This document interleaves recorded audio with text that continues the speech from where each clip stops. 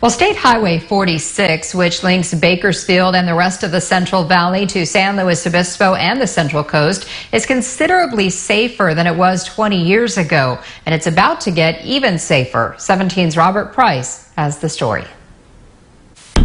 They used to call Highway 46 Blood Alley. That was before most of it got widened to four lanes. Well, the few places that are still two lanes, that's changing.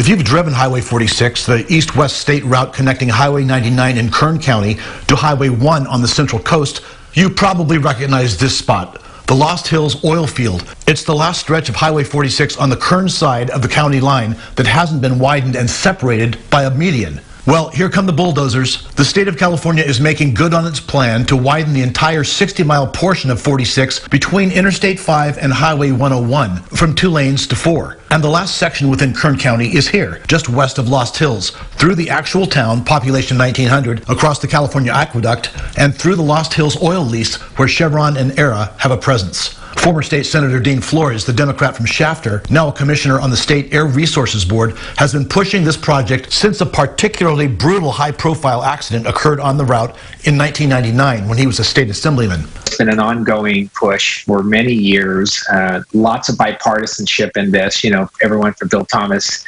uh, Kevin McCarthy, myself.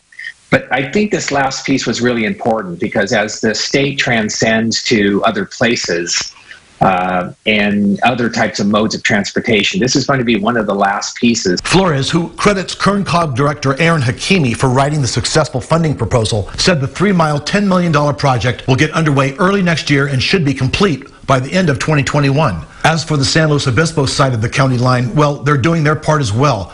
Widening of Antelope Grade, the steep descent just west of the Kern County line, has been funded to the tune of $70 million.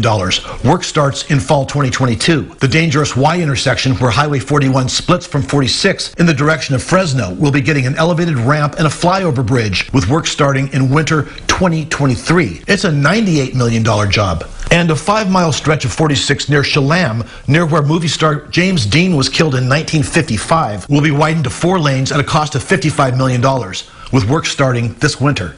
The San Luis Obispo County economy, especially with the explosion of wineries, has benefited greatly from this long and sometimes difficult undertaking. For that, they can thank, among many others, Florez. It was a very good day. I think a very good day for Highway 46 and for the people that travel, obviously, to our coast which is the Central Coast.